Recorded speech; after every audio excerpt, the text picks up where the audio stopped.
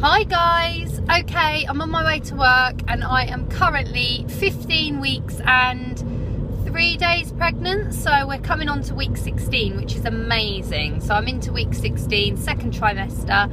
And I just thought I'd give you a little update. I can only do this whilst I'm driving, which is a bit annoying because I've got such a hectic day today. Um, and sorry if my glasses are skew with, one of the kids sat on them. So hopefully I don't look too horrendous.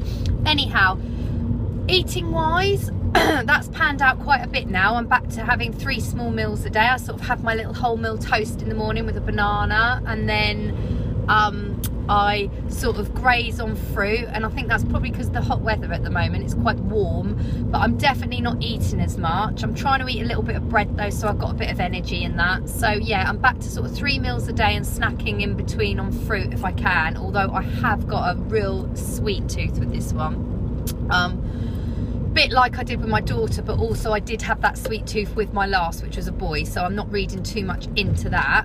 I've got midwife appointment on Thursday where she should do the heartbeat and yeah, I should find out a little bit more, bit of bloods and things. So also symptom wise, a lot of CM. Um, I don't want to go TMI, but a lot of CM um, it's got quite bad this week so I think that's all normal and I'm feeling a lot of tummy achy stretchiness and I think I look properly pregnant now which is good because I'm four months now 16 weeks you know so all relevant. But yeah I have noticed a lot. The other day I sort of thought oh my god is that tinged with pink? But it wasn't luckily. I, I think I was seeing things where I'd come out the garden it was so bright and sunny.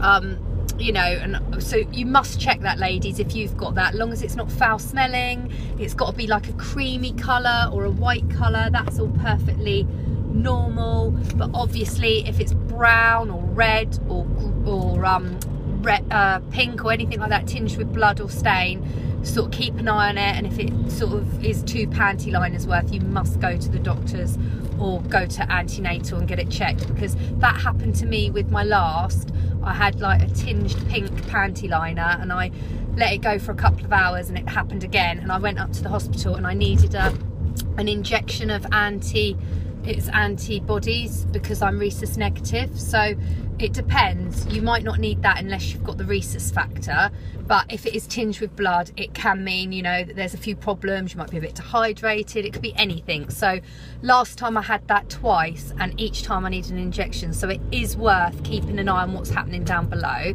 But as I say that's a proper increase this last week um, yeah and I don't feel sick anymore so that's good. I might get a little bit peaky at night but not much. And all food tastes quite nice now especially chocolate. I'm not onto dark chocolate. I'm still off of that.